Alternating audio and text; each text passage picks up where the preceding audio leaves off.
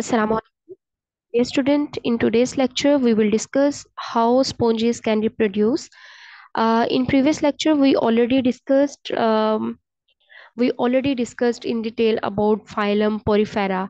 Uh, but in today's lecture, we will discuss how the sponge can reproduce and uh, either uh, they can reproduce by sexual or asexual reproduction. Here you can see uh, is a body of a sponge which is present in aquatic ecosystem. It could be marine or it could be freshwater.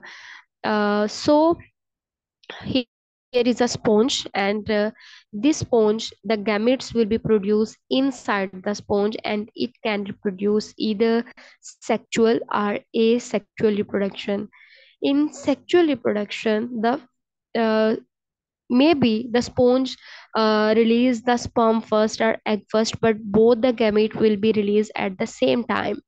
So here is a male uh, uh, sponge which released the sperms in the water and at the same time the other sponge will be released egg or ovum. Uh, or maybe the male uh, uh, gamete which is a sperm as you can see on the screen will be moved in the female gamete um, in female body and it will enter in their special cells which are called choanocytes and the sperm enter in choanocytes where the ovum is present and the fertilization the process of fertilization takes place inside the choanocytes here you can see these are the choanocytes and sperm will get entered in that cells where the ovum is already waiting for the sperm then uh, sperm will fuse with the ovum and the zygote will be developed and with the passage of time, uh, cleavage, the process of cleavage will be proceeded and zygote develop into embryo.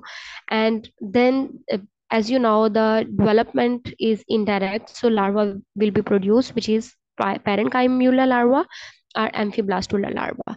Uh, always keep in mind the larva of a porifera can move, uh, but uh, the adult sponge is a sessile. Then uh, when it get mature, the larva move out from the uh, parent body and uh, it settle on the bottom and develop into new sponge. And they can also reproduce through uh, sexual reproduction which uh, is the form of internal bud, bud which is called gemmule. That's how the sponges can reproduce. They show sexual and asexual reproduction and all the sponge are hermaphrodite and they develop proto androus first then they show protogynous